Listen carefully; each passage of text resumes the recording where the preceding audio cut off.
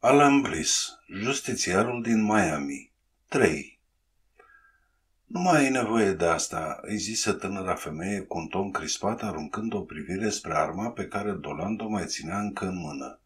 Justițiarul ezită un moment. Se uită la armă cu o grimasă și o reașeză în tocul ei. Unde mergem?" întrebă el. Departe de aici, undeva la adăpost. Așa ceva nu există. Posibil, dar se poate totuși încerca. Mi se pare că era într-o postură cam delicată.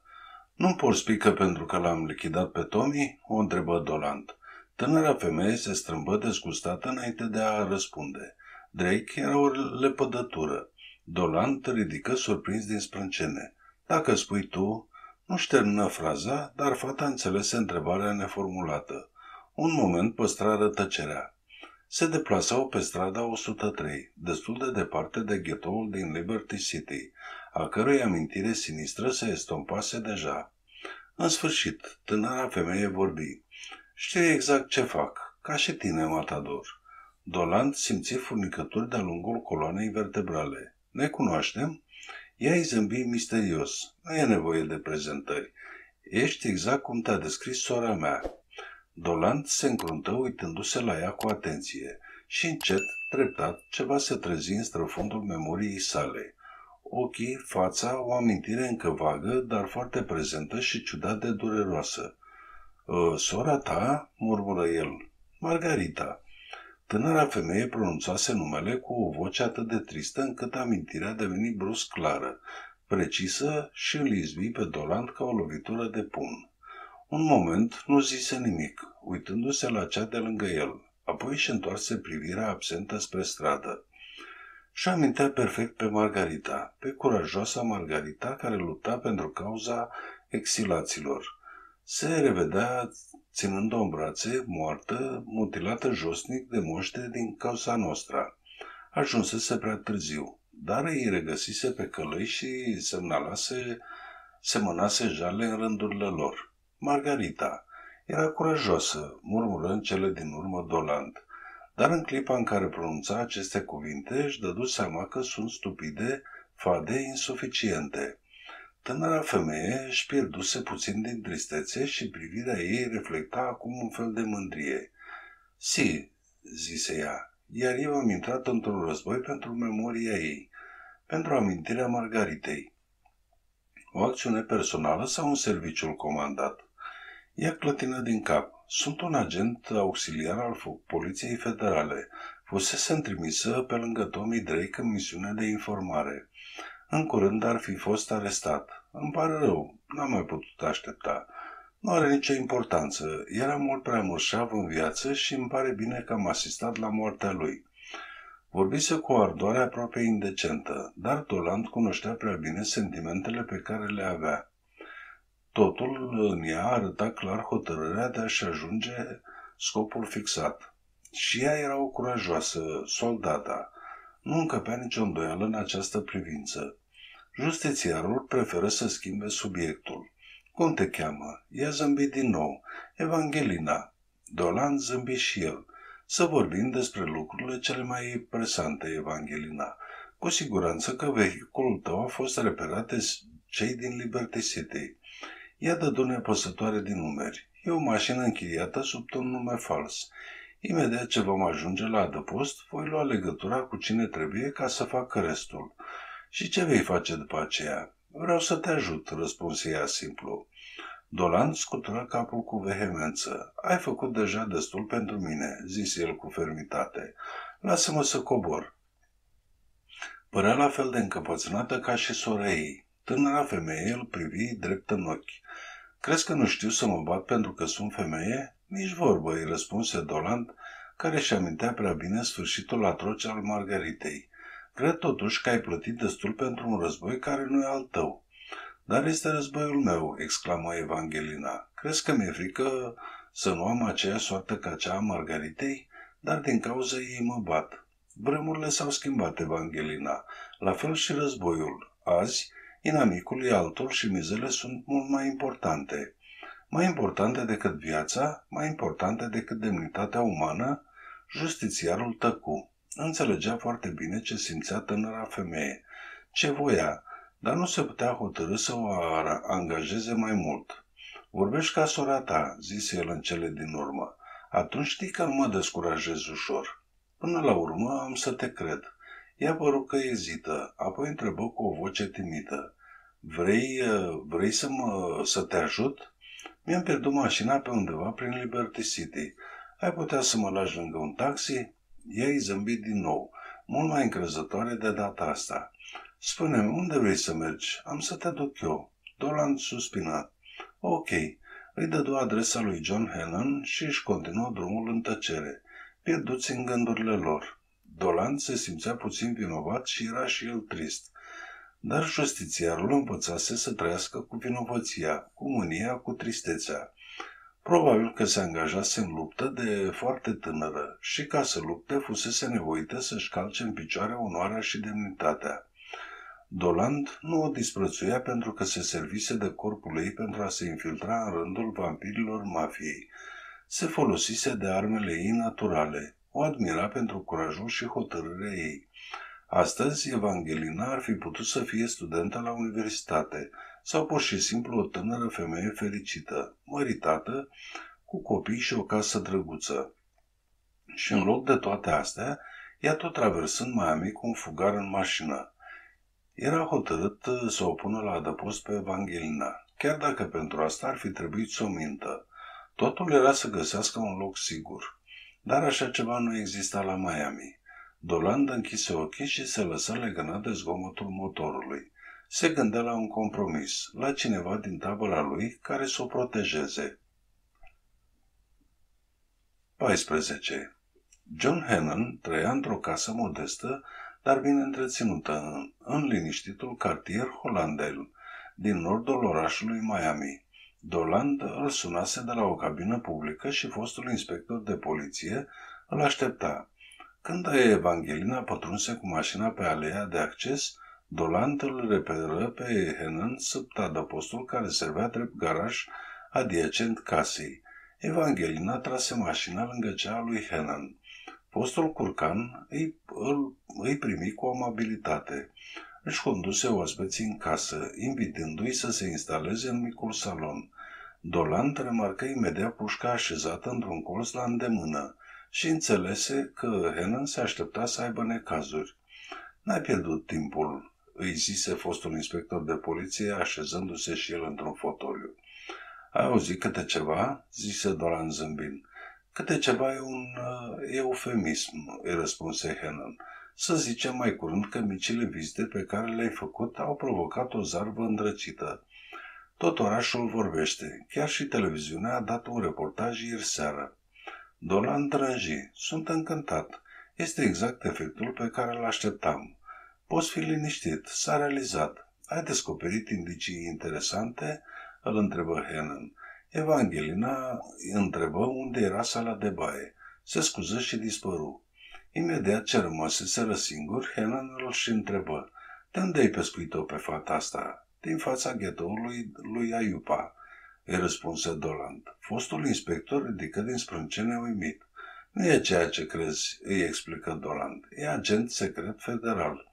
Se ocupa de Tommy Drake. Mi-e teamă că a devenit șomeră, zise Henan cu un râs gâlgâitor. Dar să ne întoarcem la problema noastră. Ce ai descoperit? Mă ocup de cubanezul de care mi-ai vorbit, îi răspunse Doland. Deocamdată n-am descoperit nimic solid, dar sunt în contact cu cineva care l-ar putea face să iasă din vizuină. Fața lui Henan se năspri. Pe acest cineva nu-l cheamă cumva Toro? Doland îl privi drept în ochi fără să clipească. Asta te-ar necăji, John? E ciudat, zise Henan. În dimineața asta cineva l-a ajutat să fugă din închisoare. O treabă curată, ireproșabilă. De atunci, poliția scotocește toate boschetele din Miami până la Tallahassee, în speranța că îl va găsi. Dolant nu răspunse imediat. Se mulțumi să-l privească pe Henan. Era grav și hotărât atunci când se decise să vorbească. Dacă Toro poate să mă ajute în actuala misiune, îi voi fi recunoscător și am să-i plătesc cu aceeași monedă. Dacă înțeleg eu bine, scopul scuză mijloacele, zise cu duritate Henan. Dolan se încrută. Totul depinde de scop. Și de mijloace, dar tu ce ai descoperit? Polițistul nu-i răspunse imediat. Ideea de a ajuta pe cineva să evadeze din închisoare îl șoca în mod vizibil. Henan, ca un curcan conștiincios, muncise ani de zile ca să-i vâre pe criminal la pușcărie și să-i țină acolo. Reacția lui era de înțeles, dar nu schimba cu nimic felul de a gândi a lui Doland. Uneori, da, scopul scuză mijloacele. Eliberarea lui Toro era o dovadă. Henan se hotărâ în sfârșit să răspundă. N-am descoperit nimic concret, zise el cu un ton necăjit. Nici cea mai mică urmă de Jose 99 și nu îndrăznesc să fac prea mult zgomot ca să nu stârnesc agitație. Nu e grav, zise Doland, care ezită înainte de a continua parcă cu regret. Poți să-ți cer un serviciu, John? Dai drumul, sunt de acord dinainte. Evangelina a apărut în salon și nu mai a avut timp să-și formuleze cererea. Își aranjase părul negru și părea foarte proaspătă. Doland fu prapat de asemănarea cu sora ei Margarita și se miră că nu observase acest lucru imediat. Unde mergem acum?" se interesă imediat tânăra femeie, adresându-se celor doi, dar concentrându-și atenția asupra lui Doland. Tu nu mergi nicăieri, Evangelina, zise Doland cu fermitate. Vei rămâne aici o vreme din motive de siguranță. Cu coada ochiului zări privirea mirata lui Henan. Rămân aici, repetă Evangelina neîncrezătoare. Cu siguranță că nu. Dolan dădu din cap. Îmi pare rău, dar nu te pot lua cu mine. Un fulger de mânie apără în privirea Evanghelinei. Știu că să am grijă de mine, senior Matador, răcnia. Sunt o luptătoare, una soldada, ca și tine. Nu chiar așa, zise Dolan, ridicându-se și apropiindu-se de ea. Îți amintești când ai omorât ultima oară un om care se afla lângă tine? Îți amintești de mirosul sângelui când, sângelui când ai apăsat pe trăgaciul revolverului pe care îl țineai lipit de fruntea lui? În timp ce vorbea, întinse un deget spre tânăra femeie și apoi îl așeză între ochi. Ea se înfioră, dar nu se trase înapoi. Dolan continuă cu duritate. Ai mai sugrumat vreodată un om, Evangelina? Cinci oameni, zece oameni, o sută de oameni? Cunoști sentimentul oribil pe care îl ai când strângi gâtul cuiva care se zbate și când simți cum îi zdobesc puterile pentru ca apoi să cadă moale fără viață? E ceva îngrozitor. A lua viața cuiva e cu totul altceva decât a te culca cu un mafioso. O lacrimă alunecă ușor pe fața lucioasă a tinerei femei. N-am ucis niciodată pe nimeni, admise ea cu o voce care abia se auzea, dar știu că aș fi capabilă. Să nu dorești să ți se ivească prea repede această ocazie, îi zise Dolan îmblânzit, în timp ce cu o mână mângâietoare îi ștergea obrazul umed. Sunt un soldat, protestă ea. În cazul ăsta rămâi în viață pentru un alt război. Eu l-am ales pe ăsta, îi răspunse ea slab de tot. Nu mai am timp de discuții, îi răspunse justițiarul din nou cu asprime. Trebuie să plec și am nevoie de cheile de la mașina ta. Tânăra femeie nu ezită decât o fracțiune de secundă înainte de a se scotoci în ceantă. Dolan se întoarse spre Henan cu un zâmbet de scuză. Mă voi întoarce imediat ce va fi posibil, John. Dacă pot, gândi el, în spatele polițistului o vedea pe Evangelina, care nu slăbea din ochi. Totuși nu-i răspunse la gestul lui de adio. Nu ne vom mișca de aici, îl asigură Henan, aruncând o privire scurtă spre tânăra femeie care dădu ușor din cap. Doland ieși spunând în gând o rugăciune, pentru că cele două ființe pe care le lăsa în urma lui două ființe curate, cinstite, curajoase, să nu sufere prea mult de pe urma a tot ceea ce avea să urmeze. 15. Raul Ornelas auzea telefonul sunând interminabil la celălalt capăt al încăperii și furia lui creștea cu fiecare secundă. Când suna a zecea oară, ridică receptorul, apoi îl trânti cu violență înapoi și înjură cu voce tare. Această ieșire era într-un fel cam deplasată la un om reputat pentru calmul și sângele rece pe care le avea în orice împrejurare. Dar în dimineața aceea, Raul își domina cu greu emoțiile care îl hărțuiau. De ore în șir încerca să-l prindă la telefon pe Julio Rivera, primului locotenent. De fapt, se năpustise asupra telefonului imediat ce auzise veștile dramatice din cursul dimineții. Dar Julio nu era la el acasă și asta nu se prea potrivea cu obiceiurile lui. Nu-și părăsea niciodată domiciliul dimineața, chiar și atunci când își petrecea noaptea cu putoare. Făcea în așa fel încât să se întoarcă acasă aproape cu ivirea zorilor. Și odată cu funia, Ornela simțea cum încolțește în el în mod insidios un sentiment ciudat de nesiguranță care se semăna tare mult cu spaima. Totuși, cubanezul era totdeauna foarte sigur de el, numai că în ultima vreme avea o sumedenie de griji. De 12 ore nu auzea decât de catastrofe. Fără legătura aparentă dintre ele, creau însă neplăcută impresie că lumea lui Ornelas, cea în care prospera, amenința să se năruie. Raul își interzisese să stăruie mai mult asupra acestei idei pesimiste. Trebuia să se domine, să reflecteze cu calm la situația de față. Avea nevoie de răspunsuri rapide, dar partea cea mai proastă era că încă nu știa cum să formuleze întrebările. Dacă lua lucrurile de la început, mai întâi fusese moartea lui Tommy Drake, sau mai bine zis, asasinarea lui. Cineva pătrunsese pe proprietatea Drake și îl lichidase împreună cu oamenii lui. Treabă curată, o lucrătură de adevărat profesionist, dar pentru Ornelas era un lucru aforisit de supărător, căci fusese lipsit pe nespusă masă de furnizorul lui de cocaină și asta l obliga să găsească alte legături și să facă noi contracte, cu toate riscurile pe care le presupuneau ele. Se mai întreba dacă descinderea făcută la Drake avea cumva vreo legătură cu eșecul expediției împotriva lui John Hannon.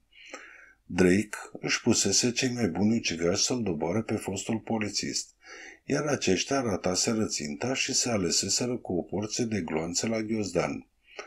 Ornelas nu credea în hazard, cu atât mai puțin în coincidențe. Bănuia că cele două fapte aveau o legătură între ele, dar încă nu vedea acum. Avea nevoie de cel puțin o pistă de un indiciu ca să identifice pe asasinii lui Drake. Evadarea lui Toro era o grijă mult mai supărătoare. Se dovedea lucrul cel mai rău care îi se putea întâmpla, tocmai în acel moment, chiar în ajunul zilei când trebuia să se materializeze visul lui cel mai cutezător, și nici în această privință nu trebuia să vadă mâna hazardului. Căci dacă Ornela supraviețuise atât de multă vreme în acea lume aflată veșnic în război, asta se întâmplase pentru că nu crezuse niciodată în hazard. Hazardul însemna ignoranță și ignoranța însemna moarte în universul fiarelor sărbatice în care trăia. Sigur, Raul Ornelas era foarte îngrijorat și avea motive să fie astfel. Chiar în acel moment, la Miami se punea la cale ceva despre care el nu avea nici cea mai mică idee. Trebuia cu cea mai mare urgență să identifice dușmanul și să lovească cu violență mizând pe elementul surpriză. Așa cerea legea junglei. Raul Ornelas nu era un începător. De foarte tânăr, abia ajuns la adolescență, Ornelas intrase în rândurile armatei lui Castro pentru a lupta împotriva agnosticului Batista și pentru a răsturna dictatura care îi oprima poporul de mai bine de o generație. Unul din frații lui murise în luptă, înainte de acel 1 ianuarie 1959, data la care Castro luase triumfător puterea la Havana și treptat Ornelas își văzuse înșelate cele mai scumpe speranțe. Asistase la sosirea faimoșilor consilieri sovietici și îl văzuse pe Fidel recunoscând uh, implicit apartenența la comunism a regimului său. Ornelas fugise din țară cu primul val de emigranți. Se stabilise în Florida, jurând că într-o zi se va reîntoarce în Cuba pentru a câștiga războiul pe care Castro îl pierduse pentru poporul lui. La Miami se alăturase imediat mișcării anticastriste pe care guvernul american o privea cu bunăvoință. Și apoi, într-o zi, CIA îl contactase și arătase cum să-și folosească experiența și priceperea de luptător. Dar trecerea în rândul trupelor speciale ale celor de la Langley îl învățase și importanța puterii banului și interesul de a ști să-ți creeze anumite relații, mai ales în sediul mafiei. Pentru CIA, totul constituia un mijloc de a servi marea cauză. După dezastrul de la Playa Giron, Ornelas văzuse guvernul american întorcând foaia și trădându-i pe exilații cubanezi. Treptat, taberele de antrenament din Florida și Louisiana fusese închise. Șefii mișcărilor naționaliste cubaneze arestați pentru ca în cele din urmă Statele Unite să recunoască regimul lui Fidel Castro. De atunci, nici criza rachetelor, nici nimic altceva din ce se petrecuse începând din 1961 nu mai emoționase cu adevărat pe Ornelas. Știa că singurul lucru care conta era obiectivul final. Ideologiile pe care le puteai schimba ca pe niște cămăși aveau prea puțină importanță. Puterea, banii, asta erau cele două realități pentru care trebuia să se bată. Și Șornelas era foarte hotărât să o facă încât l-ar fi cost, oricât l-ar fi costat. Lucrând ca independent pentru cei care îi plăteau serviciile, până la urmă Ornelas se vânduse. Drogurile și terorismul erau astăzi sursele lui de profit. Mâine... Acest mâine îl îngrijora cel mai mult. Un val seismic se pregătea să se rostogolească spre Miami și în momentul acela răul nu știa nici măcar de unde suflă vântul. Rămăsese fără principalul furnizor de cocaină și fără unul dintre cei mai importanți administratori de tripouri. În fine, și mai ales, Toro era în libertate și cu siguranță că alerga să pună mâna pe el. Toro. Cei doi bărbați fuseseră prieteni cândva, pe vremea tinereții lor, când luptau umăr la umăr pentru Cuba Libre. Dar Toro nu știuse niciodată să-și depășească idealismul candid. Niciodată nu se adaptase la aspra realitatea puterii și a banului. Refuzase să vadă viața așa cum era așa că devenise un obstacol pe care Ornelas fusese nevoit să-l îndepărteze pentru a-și continua drumul fără să fie stingerit. Nu fusese greu deloc. Onestitatea lui Toro, lealitatea și simțul onoarei se întorseseră împotriva lui. Totuși, Raul refuzase să-l ucidă pe Toro. Se mulțumise să-l denunțe și să facă în așa fel încât să fie închis fără îndoială că greșise, o greșeală pe care s-ar fi putut ca foarte curând să regrete amarnic. Torul evadase, ajutat de mâini și mijloace necunoscute, și brusc viața și viitorul căpătau un aspect nesigur pentru Raul Ornelas. Până acum, totul mersese ca pe roate. Combinația părea că funcționează cu o precizie admirabilă.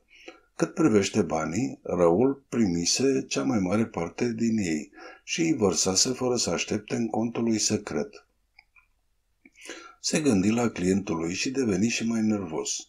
Fusese plătit înainte, se aștepta de la el să-și respecte contractul și iată că, în ultimul moment, începuse să bântuie furtuna, iar acum era prea târziu pentru anularea operațiunii. Pentru prima dată în viața lui, Raul Ornelas se întreba dacă îl vor ține nervii să îndeplinească această misiune. Ezită minute în șir, neștiind ce trebuia să facă, străduindu-se din răsputeri să găsească o soluție. 16. Ambasada Cubei la Miami este o mică fortăreață unde nimic nu este lăsat la întâmplare. Ocupanții ei, știindu-se înconjurați de mii de compatrioți ostili, nu glumesc cu siguranța lor. Grădinarii însărcinați cu întreținerea peluzelor și a straturilor de flori sunt în, sunt în realitate gărzi înarmate, iar la căderea nopții se postează în punctele vulnerabile santinele cu uniforme ceva mai clasice, oameni instruiți să tragă înainte de a pune vreo întrebare. Porțile de fier de la intrare, ca și zidul de incintă, sunt întărite cu plăci de blindaj și supravegheate în permanență de un sistem video complicat.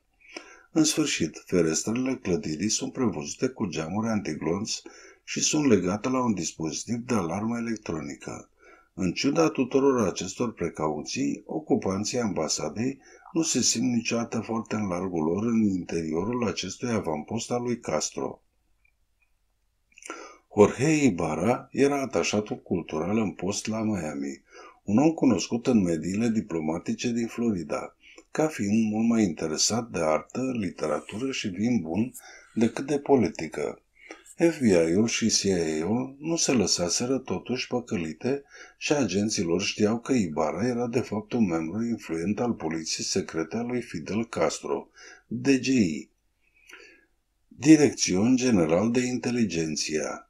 Este cunoscută în toată lumea occidentală pentru manevrele ei teroriste și revoluționare, care vizează răspândirea ideologiei comuniste și destabilizarea Statelor Unite, un organism redutabil, teleghidat în mod secret de Moscova. Încă de la început, Jorge Ibarra alesese să lupte din umbră, prefera clarobscurul decât lumina vie a rampei.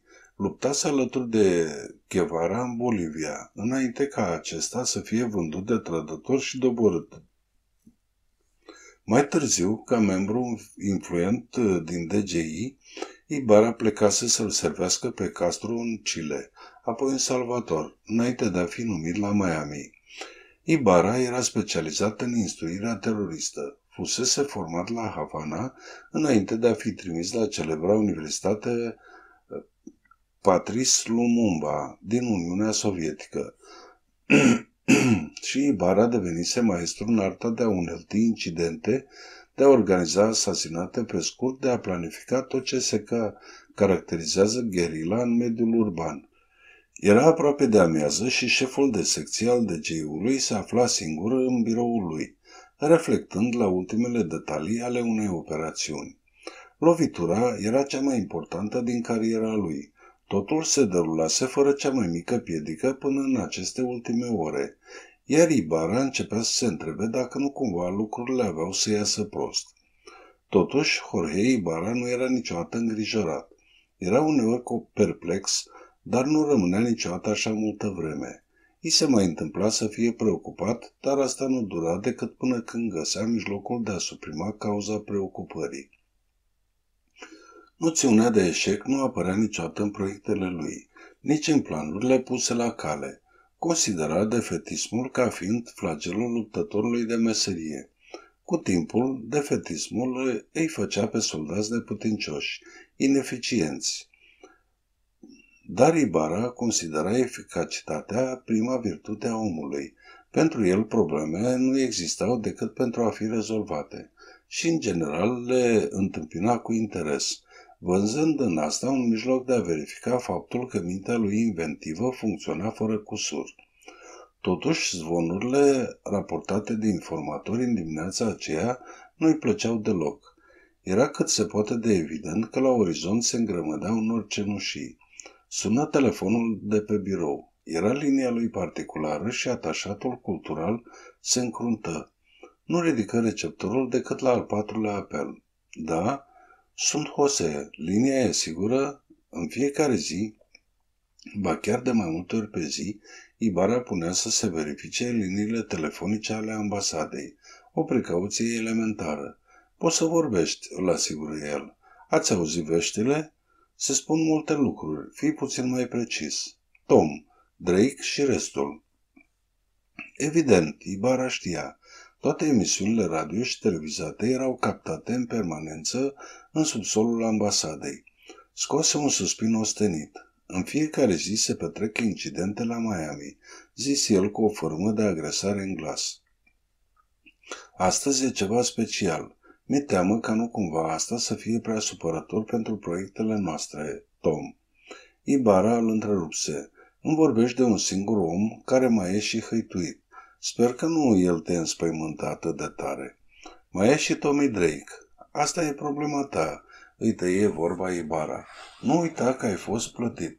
În lipsa idealului, fă în așa fel încât să meriți banii pe care i-ai primit. Am fost clar? Si, eu comprendo, zise interlocutorului gâfâind. Bien. Și fără să-i lase celălalt uh, timp să continue, Ibara închise. Era sigur că Jose pricepuse amenințarea ce se ascundea sub vorbele anodine și tonul politicos. Atașatul cultural se gândi la Tommy Drake. Asasinarea traficantului perturba puțin piața drogurilor din sudul Floridei, dar nu pentru mult timp. Mai degrabă sau mai târziu se va ivi un alt Tommy Drake, iar cocaina și heroina din Cuba va continua să se reverse pe continentul american. Înțelegea că evadarea lui Toro îl îngrijora pe Jose, dar pe el îl durea în cot. Toro nu fusese decât un iluminat dintre mulți alții, un țicnit de dreapta. Ca și ceilalți asemenea lui, Toro n-ar fi ezitat să-l împuște pe Ibarra dacă s-ar fi ivit ocazia, dar atașatul cultural nu oferea nimănui acest gen de ocazii. Ibarra era un supraviețuitor prin instinct și formație, zâmbi în timp ce își aprindea un cerut subțire, căruia îi aspiră cu lăcomie fumul acru înainte de a-l da afară în cercuri albastre spre tavan. Mâine va vedea realizarea proiectului său. Jose va găsi un mijloc ușor să se debaraseze de el. Era destul să-l găsească pe faimosul Toros și să pună la cale o întâlnire intimă între cei doi. Ibarra izbucni brusc în râs, considerând că ideea, ultima lui idee era cât se poate de ilariantă. Iar mâinile, mâine va fi apoteuza. Capitalismul putred va descoperi mâine violența chiar pe teritoriul lui. O nouă formă de violență, cum nimeni nu-și imagina că poate să existe, și Ibarra le va observa reacția frecându-și mâinile. 17. Evangelina se instalase lângă o fereastră. Privea în stradă. Trecu o mașină, prima în 10 minute. Apoi tânăra femeie urmări cu privirea un grup de copii care se întorceau de la școală și acest spectacol pașnic o emoționa. Atât de străină îi se păru viața pe care și-o alesese. Vocea lui John Hannon îi întrerupse gândurile. Îl cunoști de multă vreme? O întrebă fostul inspector de poliție. Tânăra femeie a avut nevoie de o secundă ca să înțeleagă despre cine vorbea. Abia îl descoper, răspunse ea. De fapt, ne-am întâlnit pentru prima dată noaptea trecută. Am înțeles că l-ai ajutat, zise Helen, încercând să ia un ton degajat. Evangelina dădu din numeri. A fost o nimica toată. Helen zâmbi. Ei bine, cu mine s-a petrecut invers. El mi-a salvat mie viața. Evangelina îl privi cu atenție înainte de a murmura. S-ar zice că țin mult la el. Henon păru stingerit. O, în timpurile astea nu mai știu prea bine la cine și la ce țin. Dar tu... Tânăra femeie nu a avut timp să răspundă, căci început să sune telefonul. Aparatul se afla în holișorul care ducea la bucătărie și Henon se duse să răspundă. Se prezentă și rămase tăcut un lung moment, ascultându-și interlocutorul. Apoi zise cu un ton îngrijorat. Înțeleg, da, bineînțeles, voi găsi, de acord. Când închise telefonul, avea un aer întunecat și preocupat. Traversă salonul și se postă în fața unei ferestre. Apoi se întoarse spre tânăra femeie. Trebuie să plec, o anunță el. Rămâi aici, vei fi în siguranță. Tânăra femeie scutură din cap cu fermitate. Nici vorbă, te însoțesc. Nu am dreptul să te iau cu mine. Evangelina, i-am promis lui Rob că... Cum să ai grijă de mine dacă n-ai să fii aici? Îi replica ea ironic. Nu știi ce primești mă așteaptă și nu vreau să te expui și tu. Ea zâmbi cu un fel de resemnare. Cine cunoaște exact riscurile în această situație și unde sunt? Nimeni nu știe. Lasă-mă aici singură și n-ai să mă mai găsești când te vei întoarce. Henan suspină. Ok, dar promitem că nu vei lua nicio inițiativă și că vei rămâne tot timpul lângă mine. Evangelina dă din cap cu gravitate. Da, promit. Henan dispăru într-una din camere și reveni cu un revolver pe care și-l puse la centură. Ești în armată? O întrebă el pe Evangelina.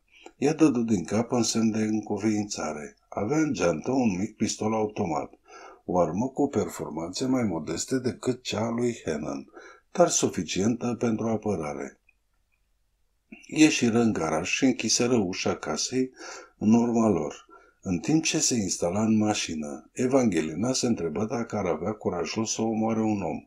În cazul în care ar fi fost forțată, în adâncul ei știa că va găsi forța necesară. Margarita murise pentru o cauză mare și dreaptă. Ea, Evangelina, avea norocul să trăiască și avea posibilitatea să sfârșească ceea ce sora ei nu putuse termina. Nica soldata iubea viața, cum să nu, dar riscurile nu o înspăimântau. Helen conducea un Chevrolet închiriat. Mașina lui suferise stricăciuni importante în abuscada din noaptea precedentă.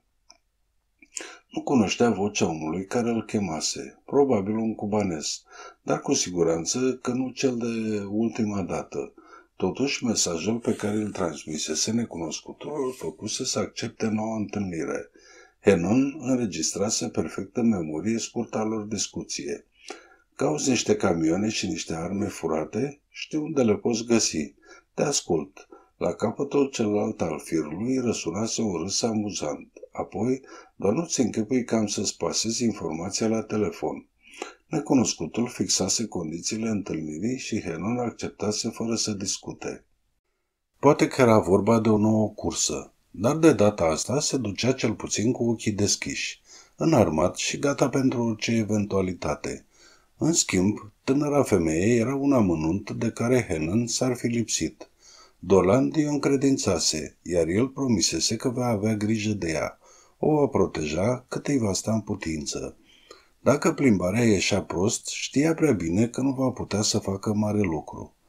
Își conducea mașina pe autostrada Dixie, nu departe de Broward Country, când deodată reperă o mașină pe urmele lui. Un Cadillac care semăna cu un car de război al mafiei. Simți în spate fiorul rece, bine cunoscut și mâinile îi se umeziră brusc. Mașina care îl urmărea câștiga rapid teren. Henan distingea deja în spatele marelui parbris fumuriu fețele brutale și corpurile mătăhăloase. Scoase arma și o puse pe genunchi. Evangelina înțelese imediat situația. Se întoarse și văzu și ea cutia aceea mare și neagră din urma lor. Scoase cu calm din geantă micul pistol automat și îl încărcă cu o mișcare scurtă. Schimbară o privire semnificativă, un zâmbet încordat. Apoi Henan se concentra asupra drumului și a oglinzii retrovizoare. Mergea cu putere maximă a mașinii, dar Cadillacul era mult mai rapid și continua să câștige teren. Când întrebarele de protecție ale celor două mașini nu mai rămăsese decât un metru, Henan se gândi să frâneze brusc, astfel încât să provoace o coliziune, dar văzu armele automate care se profilau deja lângă geam. Înțelese atunci că singura lui speranță de supraviețuire era fuga. Ce prostie! Cum putea să cadă ca orbul în cursă? Cadillacul cotei brusc pentru a depăși Chevroletul. În oglinda retrovizoare, apoi prin geamul portierei, Henan văzu armele automate scoțându-și boturile negre prin geamurile lăsate ale Cadillacului. Început să coboare cu repeziciune geamul, dar abia îl coboruse cu câțiva centimetri când rămase cu mânerul în mână. Ghinion. Incidentul stupid care survine în cel mai rău moment. Henan înjură și luă revolverul încercând să găsească un unchi convenabil cu toate că geamul nu era suficient de deschis. Ai devenit prea bătrân pentru treburi din astea, își reproșă în sinea lui. Avea degetul crispat pe trăgaci și adresa cerului o rugăciune mută când cei aflați în Cadillac au deschis focul. Geamurile săriră în toate părțile în timp ce gloanțele ciuruiau caroseria și motorul Chevroletului, revenind apoi la înălțimea geamului de la portieră. Henan simți un glonț lovindu-l în coapsă, altul intrându-i în coate și pierdu controlul mașinii. Chevroletul devie violent, se hurducă pe marginea drumului, apoi făcu o întoarcere de 180 de grade înainte de a încremeni într-un nor de praf. Cadillacul își continuă drumul, trăgând ultimele gloanțe. Henan o auzi pe Evangelina urlând lângă el. Apoi totul fu acoperit de zgomotul furios al motorului ambalat și de cel al cauciucurilor care patinau pe pământul pietros. Cu toată durerea cumplită pe care o simțea, Henan știa precis ce se petrece în jurul lui. Simțea sângele picurându-i pe coapse în partea de jos a pieptului și pe șold. Picioarele îi se păreau complet blocate și își dădu seama că și brațul drept era la fel. Fusese rănit și la cap și sângele îi curgea în ochi. Evangelina căzuse peste el în momentul în care mașina părăsise drumul. Capul îi se odihnea acum pe genunchii lui Henan, în timp ce umărul îi imobiliza brațul. Fostul polițist își dădu imediat seama că fata era moartă. Glonțul care o nimerise în frunte nu îi lăsase decât o gaură mică, abia vizibilă, dar la ieșire îi smulsese aproape jumătate din baza craniului. Evangelina murise. În ciuda durerilor, Henan simți cum îl copleșește o culpabilitate cumplită. Îi promisese lui Doland că o va proteja pe această femeie, iar el o dusese pur și simplu la moarte, de parcă i-ar fi tras chiar el un glonț în cap. Henan încercă să-și elibereze brațul fără să o împingă pe fată. Încercă să ridice capul tinerei femei și văzu că sângele care îi curgea pe genunchi provenea de la rana oribilă pe care o avea sub maxilar. Se întoarse să apuce mânerul portierei și în momentul acela apăru în spatele mașinii o umbră îndesată, un om care se întrepunea între soare și el. Evident, veniseră să se asigure că treaba se făcuse cum trebuie. Încercă să-și scoată revolverul, încurcat în hainele însângerate ale Evangelinei, dar nu reuși decât să schițeze gestul. În spatele geamului distrus, Henan abia a avut timp să recunoască un Uzi. Pistolul mitralieră trase o rafală scurtă. Henan, fostul curcan experimentat, vechiul dur din brigada omucideri, a avut senzația că întreg corpul îi se disociază într-o infinitate de particule de carne. Un fel de gong răsună surd deasupra lui și se prăbuși în beznă. 18. Când văzut girofarurile luminând drumul departe în fața lui, Rob Doland încetini lăsând celelalte vehicule să-l depășească. Intenția lui era să găsească un loc discret unde să tragă mașina pe care o închiriase în locul celei pe care o luase de la Evangelina și care era prea bătătoare la ochi. Imediat ce auzise știrile de la radio, schimbase direcția. Crainicul vorbise de o reglare de conturi și menționase numele lui John Hannan. Cealaltă victimă era o femeie tânără neidentificată. Imediat îi se zburlise părul în cap. Justițiarul își opri mașina nu departe de locul accidentului. De unde se afla, putea să vadă o ambulanță cu ușa din spate ridicată. Mașinile oficiale ale poliției și ale alte vehicule fără însemnele curcanilor se opriseră pe marginea drumului, iar câțiva bărbați în uniformă se uitau la doi brancadieri care duceau o targă acoperită cu un cearșaf alb. I se păru că inima îi se oprește în loc. Sângele îi pocnea în urechi. Dincolo de ambulanță, de-a curmezișul acostamentului, se afla un Chevrolet și Dolan zărea una din părțile laterale ciuruită de gloanțe. Un agent pe motocicletă se apropie de el, ridicând mâna pentru a-l împiedica să înainteze mai mult. Nu puteți rămâne aici, domnule, circulați. Dolan îi arătă rapid actele false pe care le vărâ la loc în buzunar explicând. La Mancea, de la Departamentul de Justiție. Cine face ancheta? Polițistul păru stingerit și declară pe un ton de scuză. Inspectorul Wilson. Îl găsiți acolo, adăugă el indicând micul grup de oficiali de lângă ambulanță. Doland îi urmări gestul și văzu un bărbat în costum gri oprit ceva mai la o parte față de colegii lui, examinând Chevroletul. Numele de Wilson nu era necunoscut. Polițistul întoarse capul la apropierea lui și se încruntă. Vă pot fi de folos cu ceva? Dolan de arăta actele false și repetă încă o dată. La Mancea, Departamentul de Justiție. Wilson se prezentă cu răceală. Bob Wilson de la poliția din Miami. Aveți un interes deosebit în această poveste? Am auzit știrile de la radio și numele colegului dumitale. Ați rămas cam în urmă, zise Wilson cu o voce total degajată. Henon demisionase de multă vreme, dar continua să lucreze, doar ca detectiv particular. Ați identificat fata? întrebă Doland. Wilson dădu ostentativ din cap. O latinoamericană, cubaneză probabil, foarte tânără, era în armată, dar nu avea acte la ea. Facem verificarea obișnuită. Ar trebui să aruncați o privire la biroul federal, îi zise Doland. Inspectorul ridică din sprâncene mirat. Serios? Ce era? Un informator? Dolan dădu din numeri. Doar n-am să vă spun eu. Dar vă interesează? Mă interesez de o mulțime de lucruri, răspunse evaziv Doland. de niște furturi de camioane și de arme, de exemplu și de un anume Jose 99. Wilson tresări când auzi numele. Îl cunoașteți? întrebă ingenul Doland. Am auzit de el. L-ați localizat? Wilson făcu o strâmbătură scârbită. Cred că glumiți. FBI-ul afirmă că are legături cu ambasada cubaneză. Ar fi în relații cu atașatul cultural, dar deocamdată nimeni n-a reușit să pună mâna pe el. Credeți că există o legătură între el și acest masacru? Întrebă iar Doland cu un ton detașat. E prea devreme ca să se poată face o astfel de afirmație, răspunse inspectorul, care arunca apoi o privire spre ambulanță înainte de a continua. S-ar zice că John era pe o pistă serioasă. Într-adevăr, așa s-ar zice, murmură justițiarul. Deodată Wilson îl privi bănuitor și ezită înainte de a-l întreba cu glas căzut. Vă aflați aici pentru a vă ocupa de acest caz?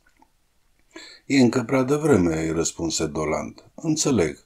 Nu mi-ar plăcea să fiu îndepărtat de la acest caz. E ceva personal la mijloc. Doland era sigur de sinceritatea lui. Preferă să schimbe subiectul și zise Dacă aș fi în locul dumitale, m-aș duce să arunc o privire în grădina lui Tommy Drake. A întârziat, bătrâne. De noaptea trecută, Tommy Drake aparține istoriei. Vreau să spun că avea mulți prieteni, zise Doland. Unii dintre ei se interesau foarte insistent de ocupația lui Henan. Am aflat de încercarea de asasinare ratată, organizată de Johnny Stomponato, îi răspunse scurt Wilson. Îl cunoașteți pe un anume Raul Ornelas, activist cubanez? Toată lumea îl cunoaște pe Ornelas. E șeful grupării Alfa 7 și Alfa 7 are nevoie de arme. Poate că Henan a dulmecat prea, prea de aproape rahatul cel al onorabilei societăți, dacă înțelegi ce vreau să spun. Ce legătură are mafia cu activitățile cubaneze? Saco și refugiații merg de la o vreme mână în mână. Știi la fel de bine ca și mine. Fie, admise polițistul, dar nu văd de ce Sacor vrea să-și procure arme. Poate pentru a face un bine cuiva. Așa, mă întreb dacă Saco știe cumva care ei sunt prieteni în momentul de față. Dolan schimbă un zâmbet. Poate că ar trebui să identificăm noi în locul lui. E posibil, răspunse interlocutorul. Cum îmi dau de dumneata? Am să te sun eu mâine. Dacă descoper ceva interesant, te anunț imediat. Ți-aș fi foarte recunoscător. Dar tonul lui Wilson trăda sentimente mai puțin afabile, amabile decât cuvintele pe care le pronunțase. Era cât se poate de limpede că vedea în La Mancea un rival teleghidat de la Washington ca să ia locul mai mult sau mai puțin în această anchetă. Cei doi bărbați își trânseră rămâna cu gravitate, așa cum se face la mormântarea unui prieten comun, și Doland se întoarse la mașina lui, simțind tot timpul în spate privirea insistentă a lui Wilson. Doland demară rapid, dus pe gânduri. Cine l omorâse pe Jean Henan? Cine ordonase moartea lui și cu aceeași ocazie cea a micii soldada? Trebuie să găsească cât mai repede un răspuns. Apoi se gândi la Toro. Evenimentele se accelerau. 19. Dolant părăsi Ocean Drive și trase mașina într-o piață mică de unde puteai să te bucuri de o vedere panoramică spre Oceanul Pacific. Dincolo de malul de nisip, apa era deja întunecată, impresionantă în imensitatea ei. În oglinda retrovizoare, Doland vedea sfințitul soarelui care cobora, care colora cerul în roz și mov și își proiecta ultimele raze pe mașinile care treceau pe drum. Aprinse o țigară și se uită la ceas. Pe scaunul de lângă el se afla un Ingram Mark 10 încărcat și gata să fie folosit. Justițiarul își aprinse a doua țigară când Cadillacul părăsi ușor valul circulației pentru a se angaja pe varianta ce ducea la piața aceea mică. Farurile mașinii luminară câteva secunde în oglinda retrovizoare a lui Doland, care își întoarse privirea spre oglinda laterală. Strivi chiștocul în scrumieră, apoi lua arma și și-o puse pe genunchi în timp ce observa cadilacul care se oprea în apropiere. Înăuntru se aflau patru bărbați. Vehiculul era un model vechi, un fel de vestigiu ivit din trecut și, într-un fel, se asorta cu cei care îl ocupau. Tipii erau ei însăși niște anacronisme vii, niște oameni care refuzaseră compromisurile necesare adaptării la timpurile noi.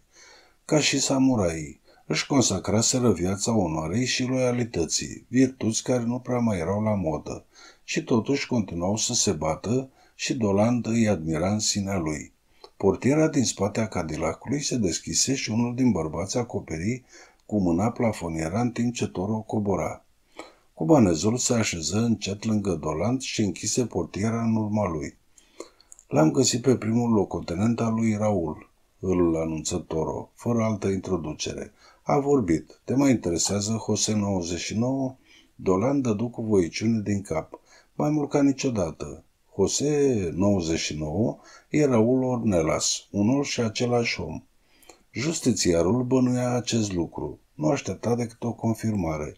Anumite piese importante ale jocului de puzzle își găsiseră imediat locul. Doland își amintea cuvintele lui Wilson. FBI-ul spune că are legături cu ambasada cubaneză. Ar fi în relații cu atașatul cultural. Ok, corespunde. Cubanezul se încruntă. Nu te surprinde? Să zicem că încep să văd limpede. Ei explică pe scurt lui Toro ce-i spusese Wilson și cubanezul se întunecă treptat la față. Când justițiarul termină de vorbit, interlocutorul lui avea un aer vădit dezgustat. Cred că e o trădare mai rea decât oricare alta, zise el scârbit. Rămase câteva clipe fără să spună o vorbă. Contemplă oceanul din fața lui și luna care se ridica încet pe cerul întunecat. Când vorbi, vocea lui nu mai era decât un murmur. Atașatul cultural despre care vorbeai e Jorge Ibarra, șef de secție în DGI. Dolan se închise în gândurile lui. DGI, bineînțeles, serviciul secret al lui Castro. Deodată totul devenea limpede. Clar. Toro continuă. De săptămâni întregi, acest Pensejo recrutează ucigași, în special Marielitas. În mod oficial, ei sunt angajați în rândurile grupării Alfa 7, dar au o misiune specială. La început am crezut că Raul era singurul instigator. Acum văd că lucrează pentru un client.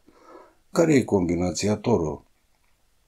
Kay Biscayne un camion cu explozibil care să arunce în aer unicul drum de acces, apoi alte 3-4 camioane cu mare elitas înarmați până în dinți.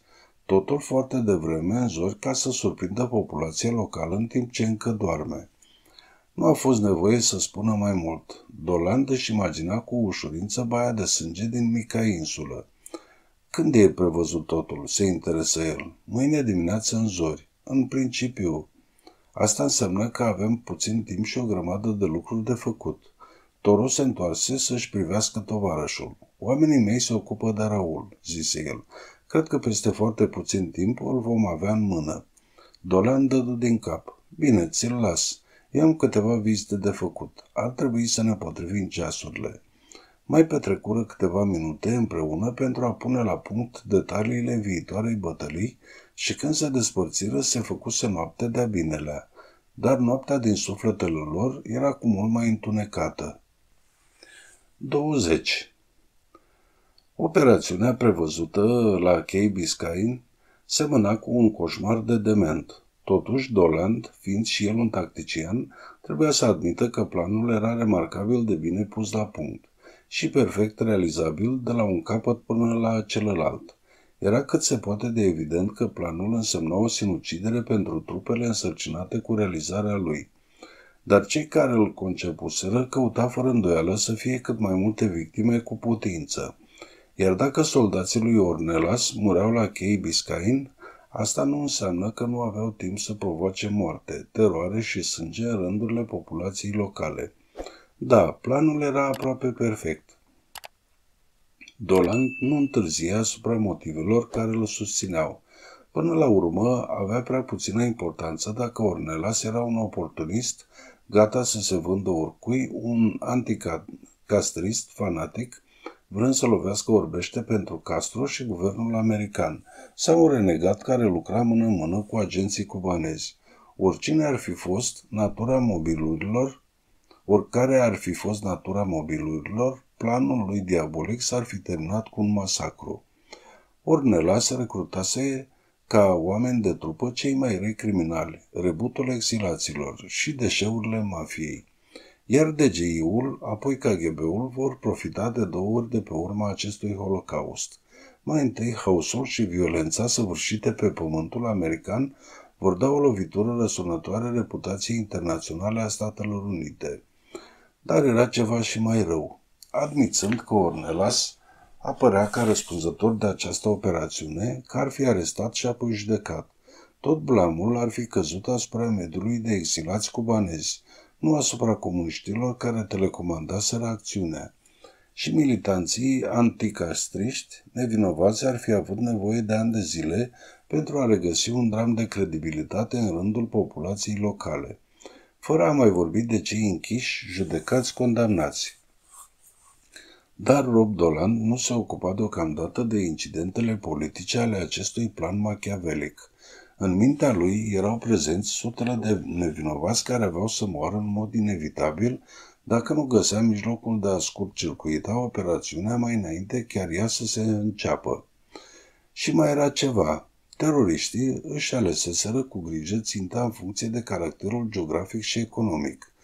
Insula Key Biscayne număra peste 6300 de locuitori, majoritatea americani bogați care se instalaseră în acel mic paradis, după ce președintele Statelor Unite le dăduse exemplu construindu-și acolo o reședință de iarnă. Key Biscayne nu era legată de peninsula Florida, decât de un singur drum. Dacă oamenii lui Ornelas îl aruncau în aer, așa cum îi spusese Toro, insula avea să rămână izolată vreme de câteva ore, poate chiar o zi întreagă. Întăririle și ajutorul dat populației locale nu puteau să sosească decât cu elicopterul, iar poliția, debarcând pe insulă, ar fi trebuit să se bată cu polițiștii, cu teroriștii care ar fi stăpânit deja terenul. O poziție excelentă pentru atacanți. Singura soluție posibilă era împiedicarea convoiului să plece spre obiectiv. Deocamdată, justițiarul nu avea încă informații despre inamic.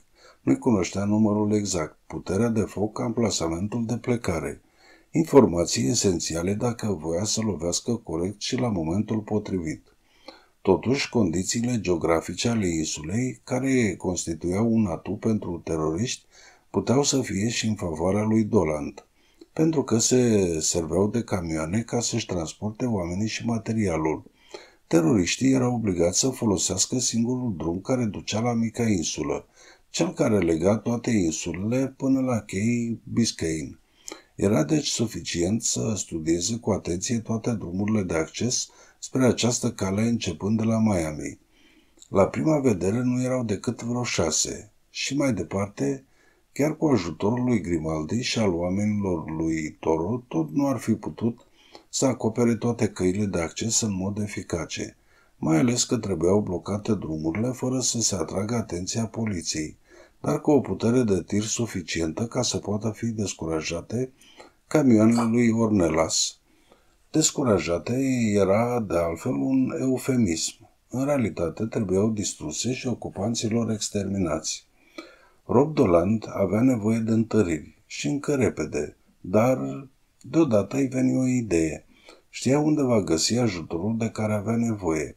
Pentru asta era nevoie să-și mai schimbe încă o dată identitatea pentru a se infiltra încetișor în tabăra dușmană.